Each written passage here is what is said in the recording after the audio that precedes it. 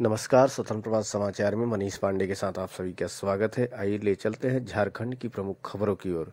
राजमहल के लोकप्रिय विधायक अनंत कुमार ओझा ने शुक्रवार को उत्कृम उच्च विद्यालय डिहारी के परिसर में चौवालीस लाख की लागत से अतिरिक्त कमरे के भवन का निर्माण शिलान्यास किया।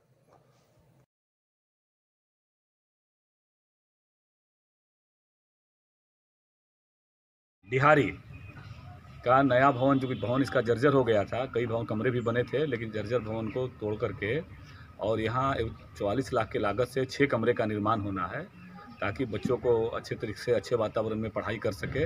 और इसी प्रकार का कल सुतियार पाड़ा में किए वो भी चौवालीस करोड़ का है लागत के लाग, लागत से है। मंगल हाट में भी चौवालीस लाख की लागत से है। निमगाछी पड़ता है वहाँ भी है। उधवा मध्य विद्यालय में भी चौवालीस लाख के लागत से कमरा का निर्माण है। तो इसके माध्यम से लगभग दो करोड़ से अधिक की योजना शिक्षा के क्षेत्र में, जो खास करके मिडिल स्कूल है या हाई स्कूल है, उन विद्यालयों के अच्छे वातावरण में पढ़ाई हो। क्योंकि विद्यालय के बारे में मान्यता है कि विद्यालय मंदिर होता है।